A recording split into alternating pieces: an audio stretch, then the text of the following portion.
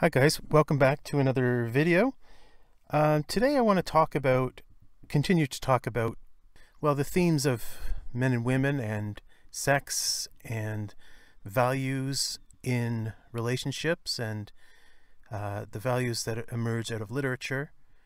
And I want to continue on when we were talking about virginity the other day, with a special, a special look at Goethe's The Sorrows of Young Werther. As I said in a video yesterday, this is one of my absolute favorite works. It's powerful, it's overwhelming, it is the quintessence of a tragic love story. Uh, it's funny that it's it's not as well known as the tragic story of Romeo and Juliet, or of course some of the even some of the other stories in the English language, like the stories of Jane Austen and uh, Wuthering Heights and so on. I guess it's because it's uh, it's it was originally a German German book, but it translates very well. And you know the the beauty of Goethe's language, of course, can't be translated. But nevertheless, the beauty of his expression, of his ideas, of timing, of perception. I think the thing that, that strikes me most about the sorrows of young Werther are the expressions this and it's hard it's hard for someone okay so knowing Werther or sorry knowing Goethe knowing his story Goethe was always a winner basically um, now it can be argued that this early work wasn't him at his winningness winningest it certainly consolidated him as a literary figure, as a leading German literary figure. So the modesty, the spiritual poverty out of which Goethe was writing is reflected in the sorrows and I don't know like not being an expert I don't know if he would have been able to write a work like this in his later age, I think that's one of the things that artists fear is that their art depends on their personal suffering. I mean, that's a relative notion, isn't it? Like if you look at someone like Leo Tolstoy, his suffering only grew with his success. That's the way with some artists. Tolstoy, his suffering peaked around the time of writing his masterpiece, Anna Karenina and in many ways, his skill continued to grow and remained in place, even though his final novel, Resurrection, isn't as psychologically elegant as Anna Karenina. It is a masterpiece, and Tolstoy's skill in writing never waned, even at to, even at the end of his life. And I think this the same thing can be said with Goethe. The masterpieces of his later life he never he never waned in his writing skill. In fact, he continued to grow. But the question is, did the pathos of sorrows remain? And I, I simply don't have that information uh, at this point, anyway. But I would point out in that uh, you know Goethe became the most celebrated writer of his time, certainly certainly in the German language, and with someone like Byron, the most celebrated writer of his age. So the question is then, do the sorrows of Goethe remain?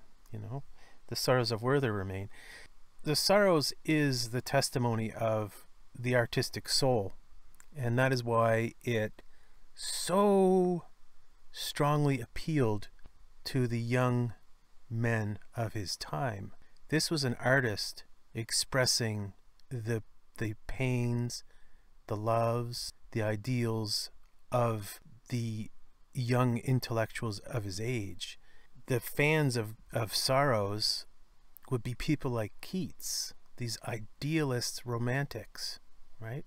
People like Mary Shelley and even her husband.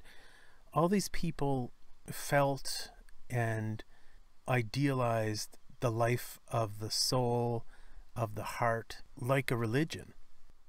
And this is one thing that comes clearly across. I said it yesterday in the video I said that for for Goethe, for and and his alter ego, I suppose, Werther. No, I was speaking of Dante, actually. But no discrepancy needs to be made here. It's the same spirit that's animating them, although with Goethe and, and Werther, it's not explicitly Christian as it is for Dante, but Werther, aka Goethe, they felt like Dante felt, and Werther and Lotte, Charlotte, are no different from Dante and Beatrice. It's another age and time, but the, the same spirit, the same emotions unite the two works. These beautiful love stories. Strange love stories, but beautiful love stories. Perfect love stories. Let me add then that so when I talked about virginity, the video on virginity, virginity is an expression of or a manifestation of the idealism that undergirds certain aspects of literature, this idealism is nowhere more apparent or better expressed than in the Romantic era. The works of the great Romantic figures are, are all about this, and their greatness consists in this.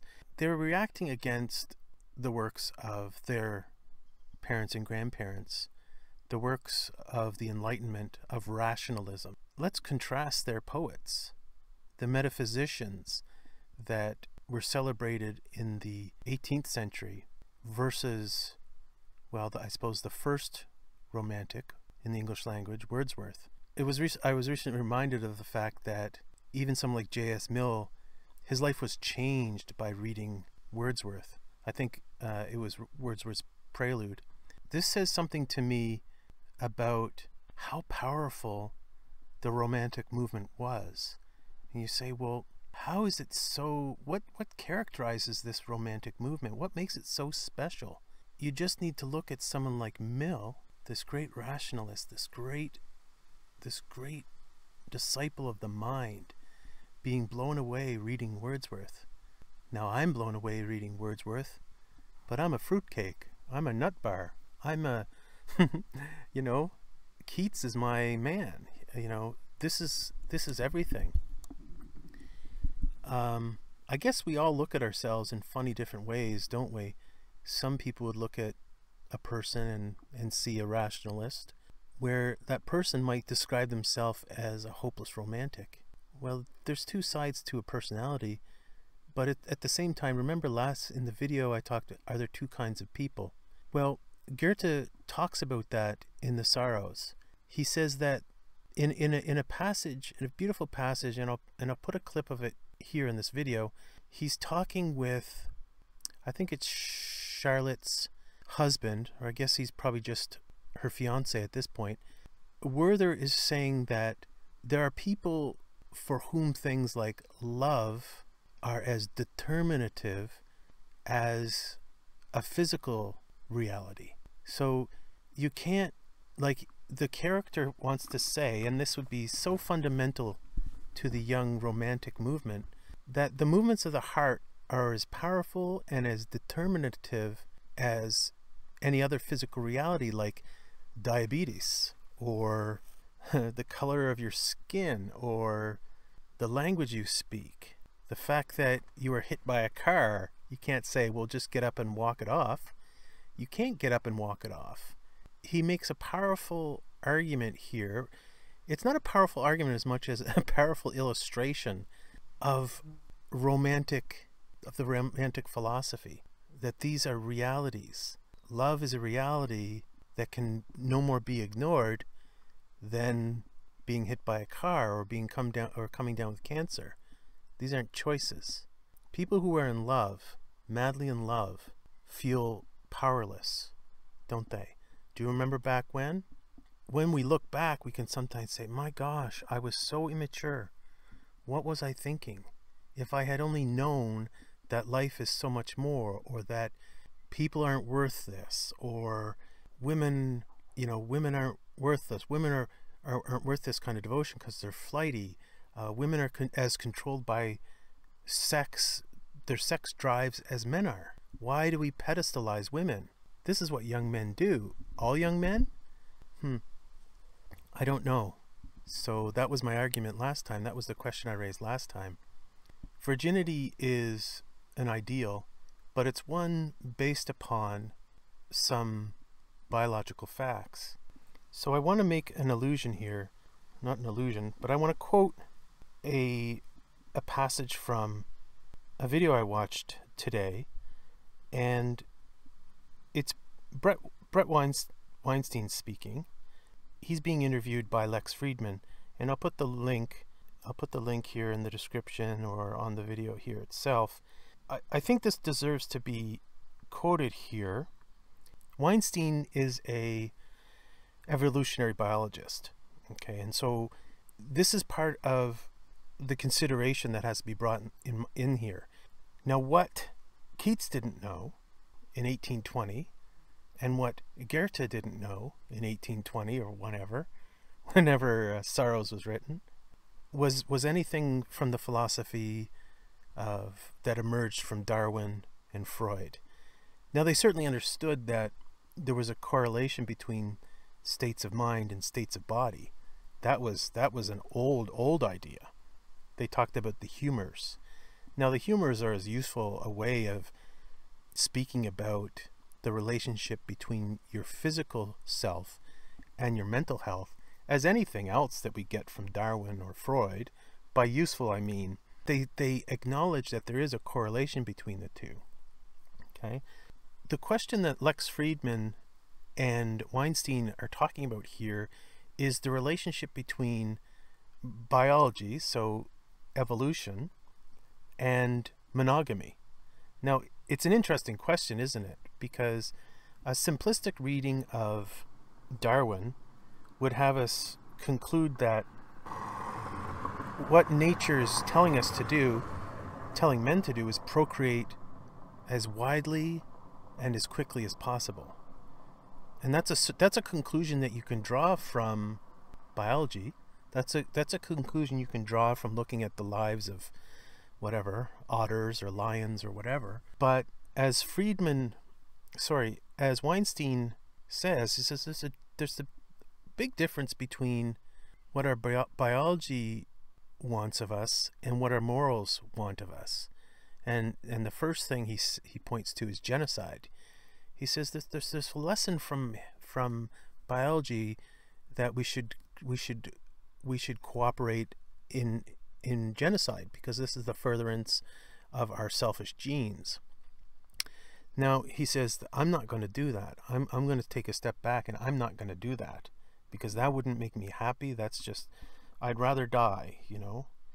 And and so here we have a evolutionary biologist telling us that biology shouldn't define us, right? It's it's it's a different perspective than that of Werther's argument with Charlotte's fiance, but but they parallel each other in some ways, and I'll and I'll put them both on on the video here so you can look at them side by side.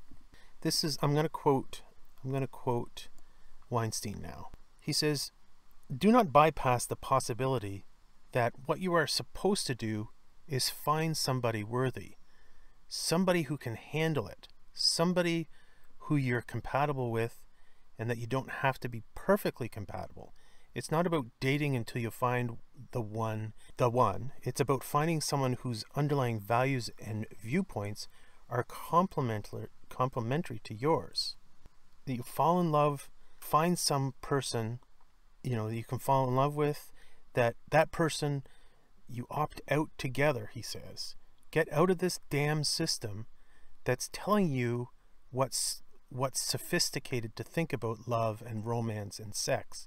He says, ignore it to together. That's the key, he says. And I believe you'll end up laughing in the end if you do it. You'll discover, wow, that's a hellscape that I opted out of. And this thing I opted into is so much better. Yeah, it's complicated, it's difficult, and all that, but but isn't that something? And and he talks about the damn system. Okay, what is the damn system? The damn system is the modern. He's talking about he's talking about what he tells university students, and so the system is what we're being told by by the world is good, and it's not. It's not good. He's saying it doesn't make for happy people. He says and he talks about his own his own monogamous marriage. He says this is what makes makes us happy. In a way, isn't he, he he's he's kind of going to the same place as Goethe or Werther, but he's he's reasoning in a completely opposite way. He's saying that biology points you in one direction, but morality points you in another. Whereas Goethe's saying through Werther that biology makes this idealized love inescapable. So he's making the opposite argument of Weinstein. So there, so there you have it. It's, um, but you end up in the end in the same place because, as both Weinstein and Werther would agree, is that happiness is is in the same place. It's in this idealized, beautiful, romantic love. Now Weinstein, he doesn't say perfect. in fact, he says the opposite. He says not perfect, but good, complementary, all these things. I think a lot of us can agree with that. I think an older person would say, yeah, complementary, not ideal, because ideal doesn't exist. I think maybe he would say even ideal is bad. I don't know. I'd have to ask him that. Is ideal bad? This is the question for authors, isn't it? Is ideal bad? I think that the tendency today with people like, you know, being governed by people like Freud and Darwin is that the ideal is bad. Now, Werther can't get behind that. Keats can't get behind that. I think old man Goethe can get behind that. He he ended up in a loving relationship uh, with someone of a lower status than him. Generally, I guess monogamous, sort of monogamous. so, old man Goethe is more of a pragmatist than than young idealist Werther, and and and I think probably even more of a pragmatist than than Weinstein. But young man Werther, he can't.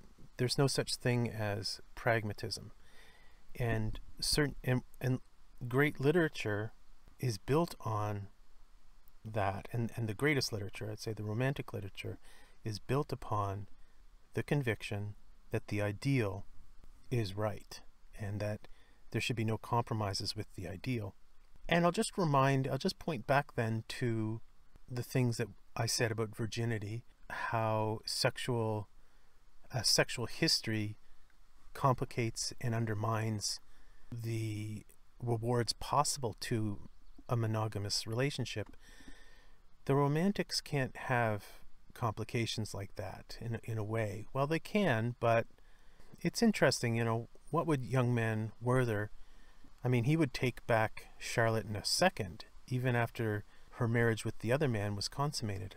I mean, that seems to be, that seems to be certainly true. It's it's certainly worth worth thinking about to some to some extent. Now, romanticism, says young Werther, is based upon our human biology. It doesn't come out of nowhere. It is the right and full and healthiest expression, the truest expression of of human biology. And Weinstein is kind of saying that too, but in a much more moderate, moderated degree. Can we love anything as much as we love Werther? Can we tolerate, can we put side by side anything with Werther or Romeo and Juliet? And what happens when we start digging through into the details? One of the most famous love relationships in the Roman world was that of Aeneas and Dido. What happens when we start digging into that? And what happens when we start digging into Jane Austen's heroes and heroines? Are these people marrying for love? How much are they marrying for love? And how much are they marrying for money? And not just money, but social status and gentlemanly conduct, gentlemanly achievement.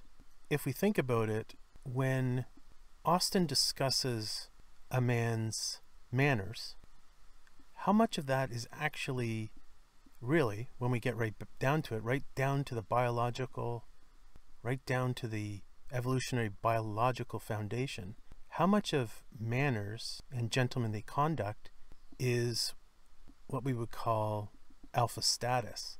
A man can't be a gentleman unless he's had the money, the freedom, the money, the training, the trapping of a polished upbringing. I mean, you can certainly tell, like if if you if you had two men walk into a room and they were both nicely dressed, but one was a millionaire and the other was I don't know, high high five figures, you would there would be something something hard to describe but noticeable anyway between them. You'd notice the difference in the watch. One had a pretty good watch and one had a Rolex. Even if you couldn't tell it was a Rolex, it was a hundred thousand dollar watch or whatever. The shoes were somewhat different. The suit, one suit was fitted and one was off the shelf.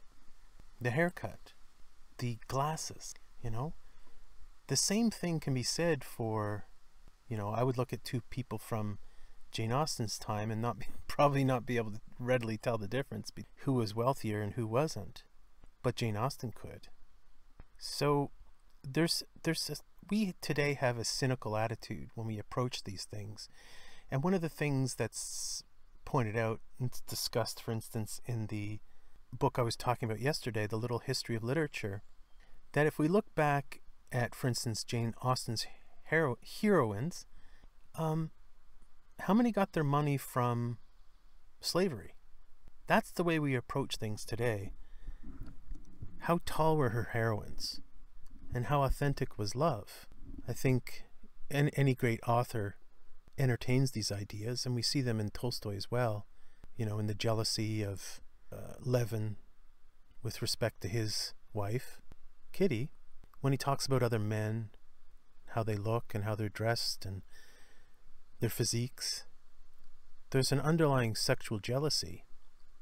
Now we have all these things playing through our minds, and they're always there, whether the author is a contemporary author who's aware of the latest theories of, of biology and evolution. What about idealism?